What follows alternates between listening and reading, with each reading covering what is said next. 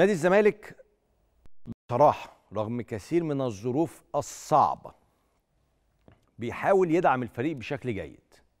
بيحاول يدعم الفريق بشكل جيد. النهاردة عمل صفقة جيدة جدا جدا يعني. نادي الزمالك النهاردة أعلن الحصول على خدمات محمد حمدي ظهير أيسر فريق إنبي على سبيل الإعارة لمدة موسم مع أولوية الشراء. يعني إيه مع أولوية الشراء يعني اشرحها لي أكتر؟ م- مش هي اللي- يعني لا الزمالك هو اللي هيبقى ليه حق يشتري بعد كده؟ أولوية. أولوية مش أحقية. الأولوية دي يعني إيه؟ يعني نادي الزمالك قدم عرض في آخر الموسم لشراء اللاعب. والنادي الآخر أي نادي قدم نفس العرض فالزمالك يبقى ليه الأولوية. طب لو النادي الآخر قدم عرض أكبر فممكن النادي التاني يبقى هو اللي ياخد اللاعب.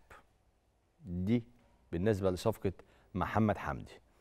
الزمالك دفع 3 مليون جنيه في هذه الإعارة لمدة موسم أعتقد رقم معقول ومنطقي.